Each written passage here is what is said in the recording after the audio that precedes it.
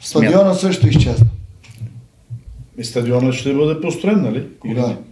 Ами, може би Това е кога козирката на Лески. век. Много се надявам да почнеме, но да не почнеме като Лески. Да направим общежитие и след това да се чудиме какво да го правим. Напротив, общежитието е пълно на Левски. Е, стадион. Има таланти. Не, не говоря за това старото общежитие, което с Батков тогава направихте. Говоря за новия ви стадион.